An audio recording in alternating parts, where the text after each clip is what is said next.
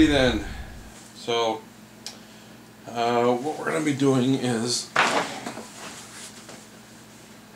this is uh, kind of an unboxing of this Ryobi 9-inch bandsaw.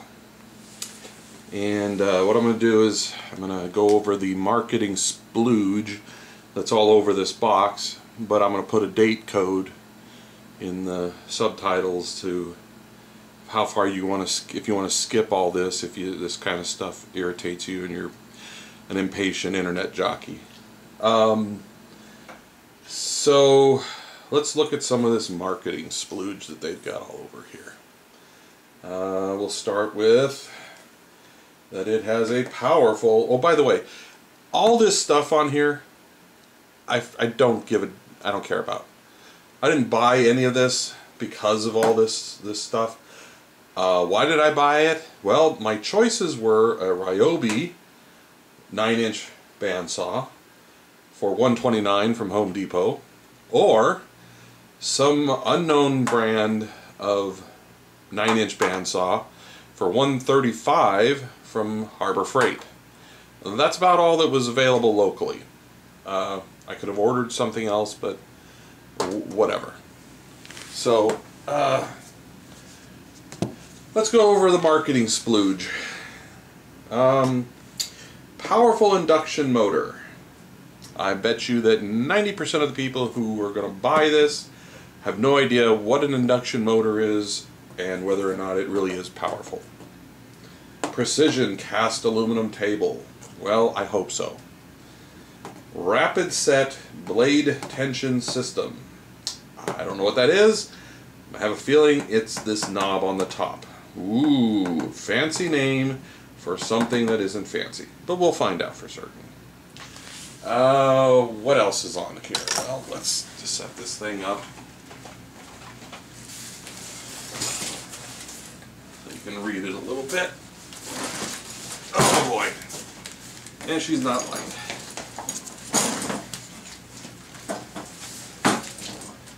Alright. So, let's see here.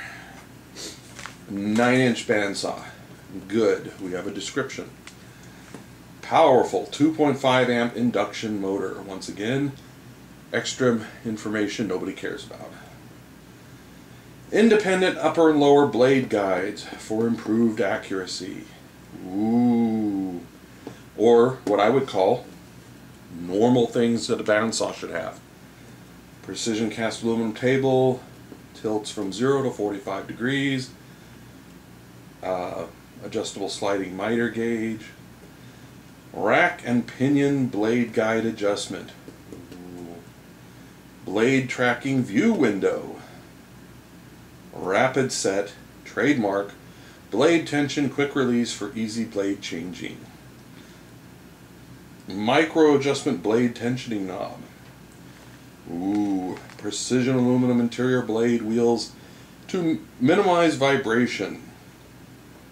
9 inch throat capacity and increased 3 and 5 eighths maximum cutting height.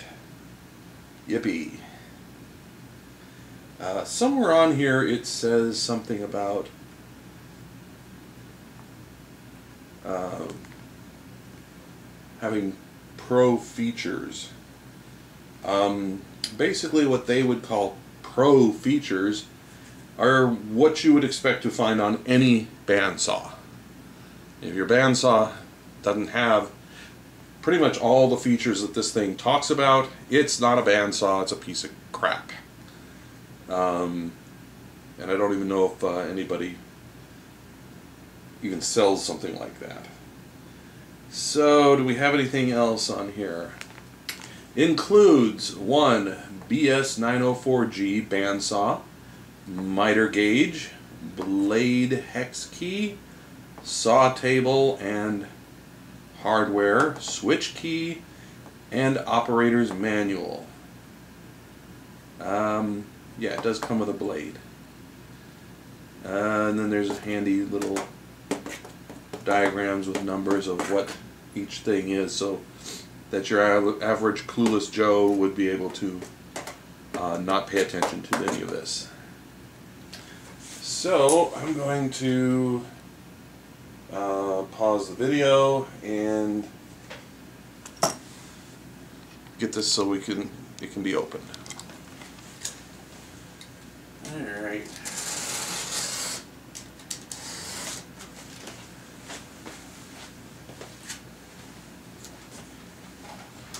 Oh, and uh, country of origin is China. So, you know, kind of doesn't matter which one you buy. It's all coming from China.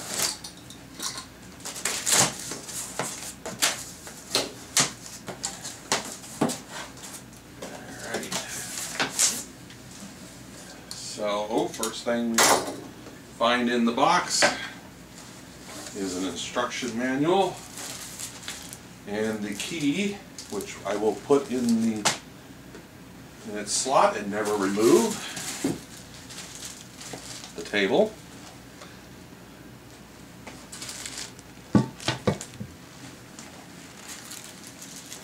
Allen wrenches, uh, some kind of lever,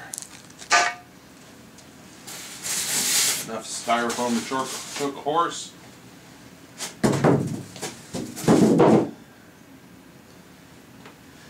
And the bandsaw. So now I'm going to pull that out. It's all wrapped up in uh, plastic. Okay, so as you can see, I put the table on here. Uh, basically, to do that, you remove this wing nut and this little piece here, which will probably get lost. Uh, this is the miter gauge. It's made of the highest quality plastic. Um, so the way this thing goes on is you this lever that we pulled out you take this table and you kind of tilt it in onto this and then you have to adjust this nut here.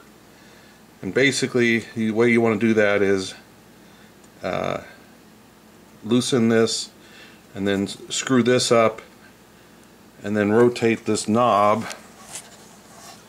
until this is level and this reads zero. And then you tighten this down. Um, so let's see.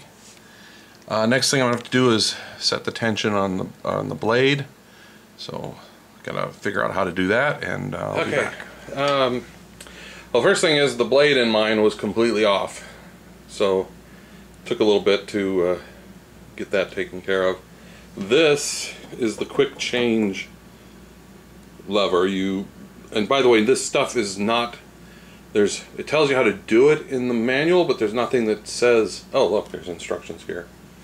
Eh. Um, so you would move this lever to quickly change the blade. Tension is set with this lever. Uh, this is for blade tracking which mine seems to be fine. I think these are for blade tracking. Uh, okay. Um, so my blade was stuck in here.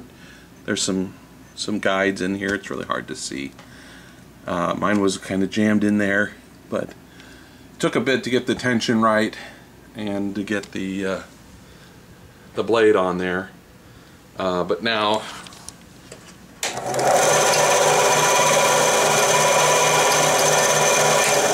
seems to be working. Uh, setting the tension on the blade is uh, just silly. Doesn't really give you anything to go on other than as you're setting it, you should pluck this like a guitar and that you want it tight but not too tight. Whatever that means. So, uh, you may notice that my Ryobi comes with this absolutely horrid shade of green, but I have Uh, I brought an up. I bought an upgrade or have an upgrade kit.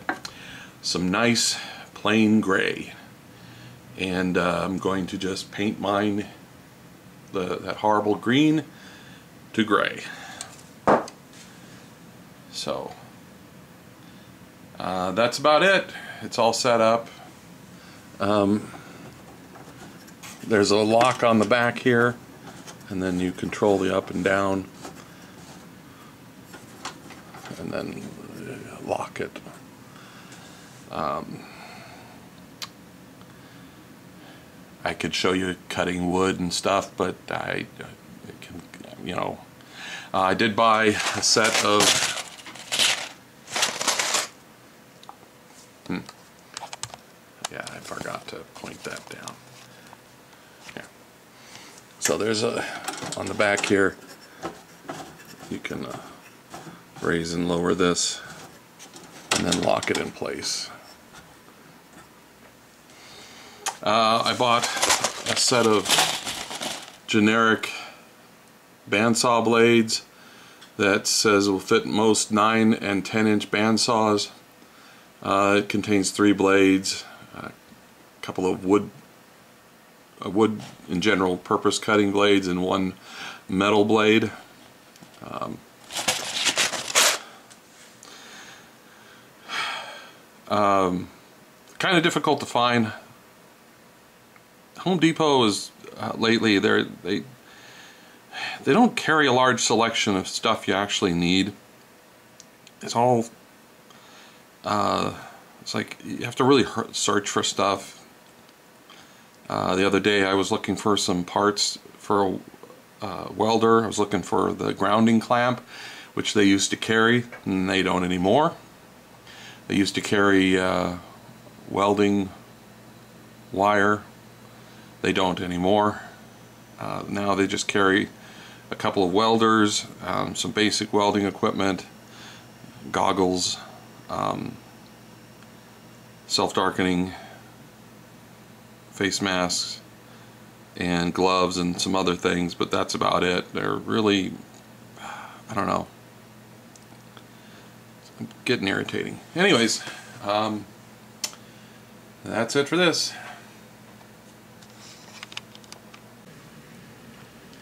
Hey, look at that. Doesn't make me want to slit my wrists. Almost looks like it's a some kind of professional equipment. Huh?